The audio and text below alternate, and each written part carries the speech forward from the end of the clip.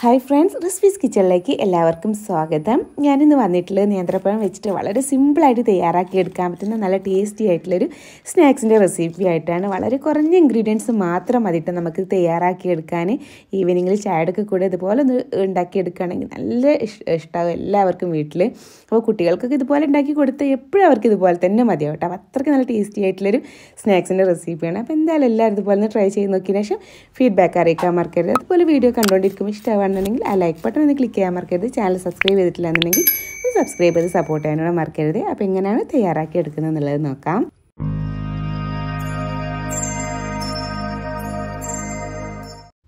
തയ്യാറാക്കി എടുക്കാൻ വേണ്ടിയിട്ട് നമുക്കിതിലേക്ക് മെയിനായിട്ട് വേണ്ടത് നേന്ത്രപ്പഴമാണ് അപ്പോൾ ഞാനിവിടെ ഒരു അഞ്ചെണ്ണമൊക്കെ എടുത്തിട്ടുണ്ട്. പക്ഷേ ഞാൻ അതിൽ നിന്നൊരു മൂന്നെണ്ണം എടുത്തിട്ട് മാത്രമായിട്ടോ ചെയ്തെടുക്കുന്നത്. ഒരു രണ്ടെണ്ണം വെച്ച് ചെയ്തെടുക്കുകയെന്നുണ്ടെങ്കിൽ തന്നെ നമുക്ക് അത്യാവശ്യം ഒരു പാത്രത്തിൽ എടുക്കാൻ മാത്രം ഉണ്ടാവും. അത്രയ്ക്ക് തന്നെ ഉണ്ടാക്കി എടുക്കാം കേട്ടോ. അപ്പോൾ ഞാൻ അതിന്റെ തൊല്ലുക നേന്ത്രപ്പഴത്തിന്റെ തൊല്ലുക്കുന്ന ഇതുപോലെ കളഞ്ഞെടുത്തിട്ടുണ്ട്. എന്നിട്ട് ഇതുപോലെ സെന്റർ ഒന്ന് കട്ട് ചെയ്ത് കൊടുക്കുകയാണ് നമുക്കിങ്ങനെ ഫ്രഞ്ച് ഫ്രൈസ് ഒക്കെ പോലെ നീളത്തിലാക്കിയിട്ടാണ് ഇതൊന്ന് കട്ട് ചെയ്തെടുക്കേണ്ടത്. അപ്പോൾ ഞാൻ ഇത് ഇത് ഇതുപോലെ സെന്റർ ആക്കിയിട്ട് അങ്ങ് കട്ട് ചെയ്തെടുക്കേണ്ടത് നമുക്ക് ശരിക്കും ഒരു മൂന്ന് പീസാക്കിയിട്ടൊക്കെ വേണമെന്നുണ്ടെങ്കിൽ കട്ട് ചെയ്തെടുക്കാം. ഞാൻ ഇപ്പോൾ കുറച്ച് കട്ടിക്കായതുകൊണ്ട് ഇതുപോലെ ഒന്ന് അങ്ങ് കട്ട് ചെയ്തെടുക്കുകയാണ് കേട്ടോ. ഇനി കുറച്ച് തിന്നായിട്ടാണ് വേണ്ടത് വെച്ചാൽ നമുക്കിതിനെ ഒരു മൂന്ന് പീസാക്കിയിട്ട് തിന്നാക്കിയിട്ട് തന്നെ അങ്ങ് കട്ട് ചെയ്ത് മാറ്റി വെക്കാം. എങ്ങനെ ചെയ്തെടുക്കാവുന്നതേ ഉള്ളൂ കേട്ടോ. ഇങ്ങനെ ആകുമ്പോൾ കുറച്ച് നേന്ത്രപ്പഴം നമുക്കൊന്ന് കഴിക്കാൻ കിട്ടും. അല്ലാന്നുണ്ടെങ്കിൽ വല്ലാണ്ടെങ്കിൽ സ്ലിമ്മായി പോയാൽ കുറഞ്ഞ അളവിലേ കിട്ടുള്ളൂ. ഒരു അതുകൊണ്ടാണ് ഞാൻ കുറച്ചൊരു തിക്കായിട്ട് തന്നെ കട്ട് ചെയ്തെടുക്കുന്നുണ്ട് കേട്ടോ. അപ്പോൾ ഞാൻ അതായത് ഈ ഒരു രീതിയിൽ ഇതെല്ലാം കട്ട് ചെയ്തെടുത്തിട്ടുണ്ട് കണ്ടില്ലേ? ഈ നീളത്തിലാക്കിയിട്ട് ഇതുപോലെ കട്ട് ചെയ്തെടുത്തിട്ടുണ്ട്. അതിന്റെ ബ്ലാക്ക് കളറൊന്നും കളയേണ്ട ആവശ്യമില്ല. ഇതുപോലെ തന്നെ അങ്ങ് കട്ട് ചെയ്തെടുത്താൽ മതി കേട്ടോ സെന്ററിലുള്ള ഇനി ബാക്കിയുള്ളതൊക്കെ ഞാൻ ഇതിപ്പോൾ ഇതുപോലെ കട്ട് ചെയ്തെടുത്തിട്ടുണ്ട്. ഞാനിപ്പോൾ ഇവിടെ മൂന്ന് നേന്ത്രപ്പഴമാണ് ഇതുപോലെ ഒന്ന് കട്ട് ചെയ്തെടുത്തിട്ടുള്ളത്. നമുക്ക് എത്രത്തോളം വേണം അതിനനുസരിച്ചിട്ട് കട്ട് ചെയ്തെടുക്കാം ഇത് നമുക്കൊരു സൈഡിലോട്ട് മാറ്റി വെക്കാം. ഇനി ഇതിലേക്ക് നമുക്കൊരു മാവ് ഒന്ന് റെഡിയാക്കി എടുക്കാനുണ്ട്. അപ്പോൾ ഒരു ബൗൾ എടുത്തിട്ടുണ്ട്. അതിലേക്ക് ഇരുന്നൂറ്റി അമ്പത് എം എല്ലിന്റെ കപ്പിന് ഒരു കപ്പോളം മൈദ ഉണ്ടോ എടുത്തിട്ടുള്ളത്. അത് നമുക്ക് ഈ ഒരു ബൗളിലേക്ക് അങ്ങ് ഇട്ട് കൊടുക്കാം. അതിന്റെ കൂടെ നമുക്ക് ആ ഒരു പുറമേക്ക് നല്ല ക്രിസ്പി ആയിട്ട് കിട്ടാൻ വേണ്ടിയിട്ട് ഒരു രണ്ട് ടേബിൾ സ്പൂണോളം കോൺഫ്ലവറും കൂടെ ആഡ് ചെയ്ത് കൊടുക്കുന്നുണ്ട് കേട്ടോ രണ്ട് ടേബിൾ സ്പൂണോളാണ് എടുത്തിട്ടുള്ളത്. പിന്നെ അതിലേക്ക് ഒരു ടേബിൾ സ്പൂണോളം പഞ്ചസാരയും കൂടെ ആഡ് ചെയ്ത് കൊടുക്കുന്നുണ്ട്. നമുക്ക് എത്രത്തോളം മധുരം വേണോ അതിനനുസരിച്ചിട്ട് ആഡ് ചെയ്ത് കൊടുത്താൽ മതി കേട്ടോ അതുപോലെ തന്നെ ഒരു അര ടീസ്പൂണോളം ഏലക്കന്റെ പൊടിയും കൂടെ ആഡ് ചെയ്ത് കൊടുക്കുന്നുണ്ട്. പിന്നെ രണ്ട് പിഞ്ച് ഉപ്പും കൂടി ഇട്ട് കൊടുക്കുന്നുണ്ട്. അതൊക്കെ ഒന്ന് ബാലൻസ് ചെയ്യാൻ വേണ്ടിയിട്ട് മധുരമൊക്കെ ഒന്ന് നന്നായിട്ട് ഇതുപോലെ ഒന്നങ്ങ് മിക്സ് ചെയ്തെടുക്കാം.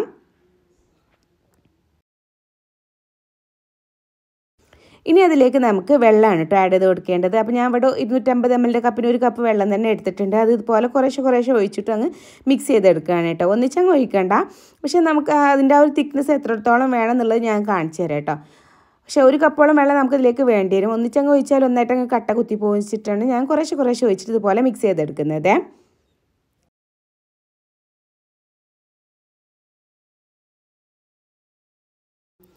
അപ്പോൾ അതാ ഞാൻ ഒരു കപ്പ് വെള്ളം കൊണ്ട് ഇതുപോലെ മിക്സ് ചെയ്ത് ഈ ഒരു തിക്നെസ്സിലാട്ടോ കിട്ടിയിട്ട് ഇങ്ങനെ ഇങ്ങനെ മുറിഞ്ഞ് മുറിഞ്ഞ് വീഴുന്ന രീതിയിലാണ് നമുക്ക് മാവ് വേണ്ടത് വല്ലാണ്ടങ്ങ് ലൂസായി പോകരുത് അങ്ങനെ ആകുമ്പോൾ നമുക്ക് ആ ഒരു പഴത്തിൽ അങ്ങ് കോട്ട് ചെയ്ത് പിടിപ്പിക്കാനുണ്ടാവില്ല കേട്ടോ പിന്നെ അതിലേക്ക് ലാസ്റ്റായിട്ട് ഒരു രണ്ട് പിഞ്ച് ബേക്കിംഗ് സോഡയും കൂടെ ആഡ് ചെയ്ത് കൊടുക്കുന്നുണ്ട്. ലാസ്റ്റിൽ ആഡ് ചെയ്ത് കൊടുത്താൽ മതിയെ. എന്നിട്ട് നന്നായിട്ട് അതെല്ലാം കൂടെ ഒന്നും കൂടെ അങ്ങ് മിക്സ് ചെയ്ത് കൊടുക്കാം.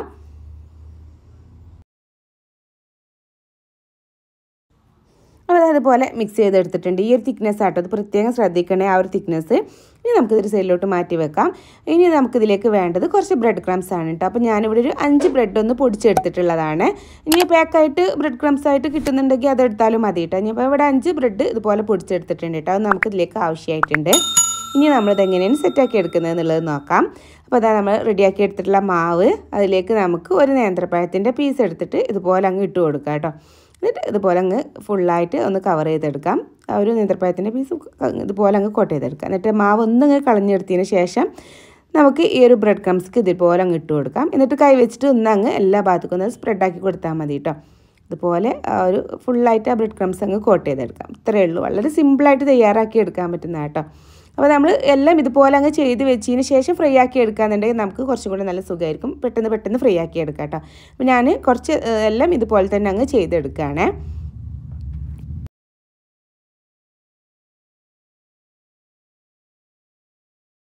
അപ്പോൾ അതായത് എല്ലാം ഞാൻ ഇതുപോലെ ചെയ്തെടുത്തിട്ടുണ്ട് കേട്ടോ. ഇനി നമുക്ക് ഫ്രീ ആക്കി എടുത്താൽ മതി. ഇതുപോലെ ബ്രെഡ് ക്രംസ് നന്നായിട്ട് കോട്ട് ചെയ്തെടുക്കണേ.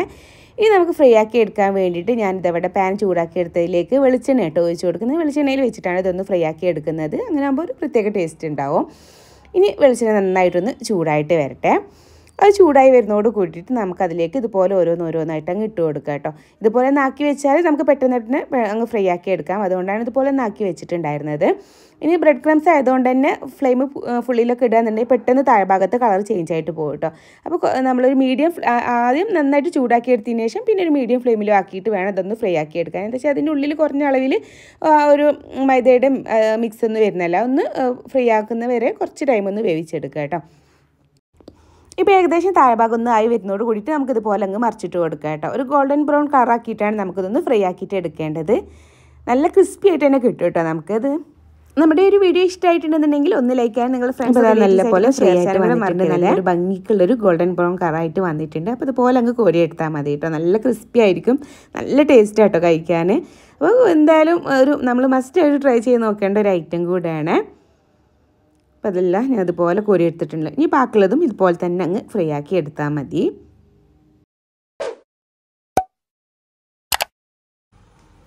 അപ്പോൾ ഇതാ ഫ്രീ ആക്കി എടുത്തിട്ടുള്ളത് കണ്ടില്ലേ? അതിന്റെ ആ ക്രിസ്പിനെസ്സിന് സൗണ്ടാണ് നമ്മൾ ഈ കേൾക്കുന്നത്. നല്ല ക്രിസ്പിയാണ് കേട്ടോ. നല്ല ടേസ്റ്റാണ് കഴിക്കാനും. ആ ഒരു ക്രിസ്പിനെസ്സോട് കൂടിയിട്ട് തന്നെ. നമ്മൾ എത്ര കുറച്ച് ടൈം പുറത്തിരുന്നാലും ഒന്നും ആ ഒരു ക്രിസ്മസ് എങ്ങനെയായാലും പോകുന്നില്ല കേട്ടോ. പക്ഷെ അധികം ടൈം ഇരുന്നാലും ആ ഒരു ക്രിസ്മസ് അങ്ങനെ തന്നെ നിൽക്കുന്നുണ്ട്.